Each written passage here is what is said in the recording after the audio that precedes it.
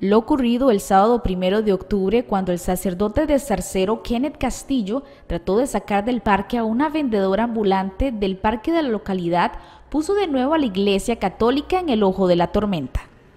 En redes sociales las críticas ante el proceder del sacerdote no se hicieron esperar y muchos han tildado de inhumano el acto. Sin embargo, en la diócesis de Alajuela afirman que el parque es propiedad del templo y que incluso a la mujer le han invitado a las reuniones donde se les pide a los comerciantes una colaboración para el mantenimiento y que ella no ha asistido.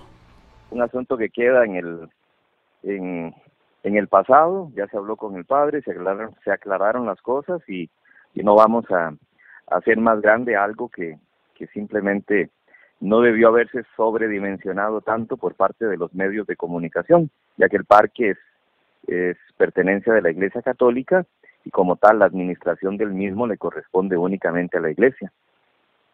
Correcto. Ahora, dentro de esos eh, gastos ustedes hablan del mantenimiento del parque y por eso el, tener que cobrar algunos, algunas posibilidades o recibir algunas donaciones. Exactamente, solo este año se han invertido casi 8 millones de colones en lo que vamos del año en mantenimiento, en suministros, en salarios, seguros, pólizas, y no recibimos ni un medio cinco de la municipalidad, que no dicen que la Contraloría no les permite invertir en el parque, y el gobierno por supuesto que tampoco, entonces eso recae en la iglesia de Zarcero, en ver cómo buscan los fondos. El hecho es ordenar, ordenar las ventas en el parque, porque si no eso se convierte en un, en un mercado persa, como han dicho los mismos arcereños, y por otro lado, pues generar algún, algún pequeñito ingreso, porque tampoco es que se puede pretender tener ahí un montón de gente. Entonces, ordenar y que aquel que quiera hacer usufructo del parque, eh, pues también colabore un poquito con lo que es el, sostenimiento de la iglesia, y del, que tiene que hacer la iglesia del parque. Durante lo ocurrido el día sábado, muchas personas se mostraron molestas con el cura y hasta grabaron la escena e incluso le recriminaron lo que estaba haciendo. Consultado el padre Sixto Varela sobre una posible reubicación del sacerdote Kenneth Castillo, destacó que eso no ocurrirá. La prensa es la que ha mencionado en algún momento. Para nosotros el asunto queda allí, no es un asunto grave, lamentamos lamentamos que al padre se le haya salido un poquitito el asunto de las manos, pero eso no da pie como para un traslado. Ah, correcto. Sí mantienen la, la, idea ustedes de que hubo más eh, espectáculo en torno a la situación por ser la Iglesia Católica.